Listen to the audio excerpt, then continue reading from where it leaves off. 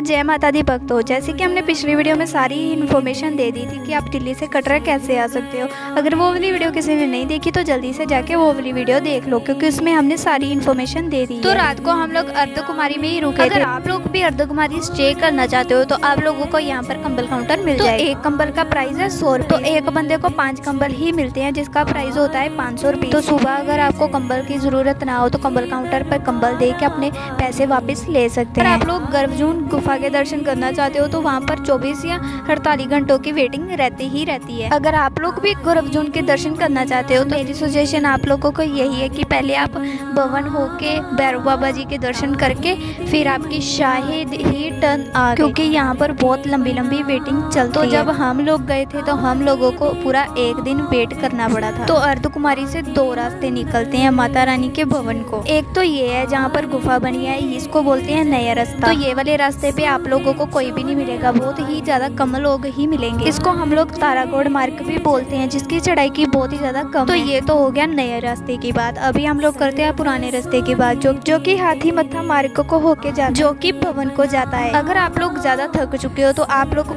नए रास्ते को भी चूज़ कर सकते हो जो की तारागोड़ मार्ग तो तारागोड़ मार्ग वाले रास्ते पे आपको कोई भी शॉप नहीं मिलेगी। अगर आप लोग हाथी मत्था मार्ग से जाना चाहते हो तो आप लोग वहाँ से भी जा सकते हो। तो वहाँ पर आप लोगों को बहुत सारी शॉप मिलेगी। और बहुत सारे लोग मिल जाएँगे जो कि माता रानी के भवन जा रहे होंगे। तो चलो यात्रा शुरू करते हैं। तो हम लोगों ने रास्ता लिया है। हाथी मत्था मार्ग वाला रास्ता लिया है जिसको की पुराना रास्ता भी बोलते हैं। तो इस वीडियो में हम लोग आपको बताएँगे की बैटरी कार कहाँ से ले सकते हो रोप वे की सुविधा क्या है और हेलीकॉप्टर आप कैसे बुक कर सकते हो। तो चलिए यात्रा को शुरू करते हैं। जय माता दी। तो सबसे पहले बात करते हैं बैटरी कार की। तो आप बैटरी कार को ऑनलाइन और ऑफलाइन दोनों से बुक कर सकते हो जो कि अर्धकुमारी से भवन तक और भवन से अर्धकुमारी तक ही चलती है। तो अब बात करते हैं हेलीकॉप्टर की तो हेलीकॉप्टर की आपको बुकिंग कटरा से करवानी पड़ेगी तो जो कि आपको माँ वैष्णो देवी भवन तक पहुँचा देगा। तो अभी बात करते हैं इसके फेयर की तो एक तरफ़ का उन्नीस सौ है और दोनों तरफ़ का अठतीस सौ तो ये इन्फॉर्मेशन देते देते हम लोग पहुँच चुके हैं माँ वैष्णो देवी जी के भवन में। तो अभी हम लोग आपको बताते हैं की आप लोग अंदर दर्शन करने कैसे जा सकते हो। तो आपकी बेल्ट वॉच या मोबाइल ये कुछ भी अंदर नहीं जाएगा तो इसलिए अपना सारा लगेज रोकर रूम में जमा करवा के ही जाना ताकि आपको आगे जाके तो कोई भी दिक्कत ना हो। हम लोग एक चीज़ तो बताना भूल ही गए तो आप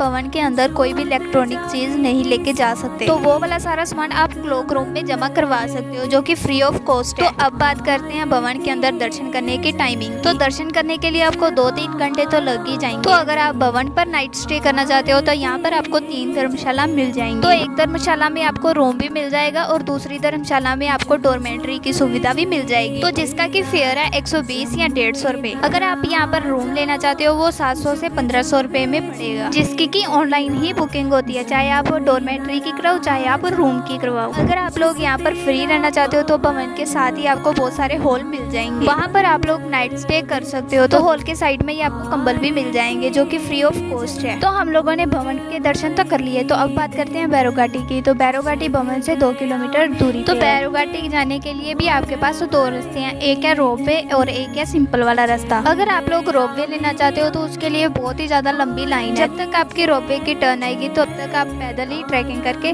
बैरोघाटी पहुँच जाओगे। तो जब हम लोग बैरोघाटी की ओर प्रस्थान करेंगे तो हम लोगों हम लोगों को श्राइन बोर्ड के द्वारा भोजनालय और बहुत सारे रेस्टोरेंट देखने को मिल जाएँगे। लोग थोड़ी सी आगे जाएँगे तो ना ही श्राइन बोर्ड के द्वारा कोई भी भोजनालय मिलेगा और ना ही कोई रेस्टोरेंट मिलेगा। बस सुंदर सुंदर नज़ारे ही लेकिन ये दो किलोमीटर का रास्ता एकदम सीधा है। ट्रैकिंग करने में बहुत मज़ा आएगा। तो चलिए साथ में करते हैं। जय माता ट्रैकिंग करते करते हम लोगों को सीढ़ियों वाला रास्ता भी मिल जाएगा। अगर आप लोगों की सेहत बहुत ही ज़्यादा अच्छी है तो फिर ही सीढ़ियों वाला रास्ता ले। श्राइन बोर्ड के द्वारा लगाए हुए बोर्ड पे भी यही लिखा है अगर आपकी सेहत बहुत ही ज़्यादा अच्छी है तो फिर ही सीढ़ियों वाला रास्ता वरना ना ले। जो रास्ते पे आप जा रहे हो वही रास्ते पे चलते जाओ। एक से डेढ़ घंटे के बाद हम लोग बैरोघाटी पहुँच चुके तो बैरोघाटी पहुँचते ही सबसे पहले आपको बेट शॉप दिखती है जहाँ से आप प्रसाद ले सकते हो। तो प्रसाद लेने के बाद हम लोग चढ़ते हैं बैरोघाटी के दर्शन करने। जय माता दी। तो हम लोगों को तो बहुत ही अच्छे तरीके से दर्शन हो तो अगर आप लोग श्री माँ वैष्णो देवी जी के दर्शन करने आ रहे हो तो आप भैरव बाबा जी के भी ज़रूर दर्शन करना। उसके बिना आप लोगों की यात्रा सफल नहीं हो तो माता जी के लिए एक लाइक ज़रूर कर देना और चैनल को सब्सक्राइब कर देना और कमेंट बॉक्स में जय माता दी ज़रूर लिखना। जय माता दी।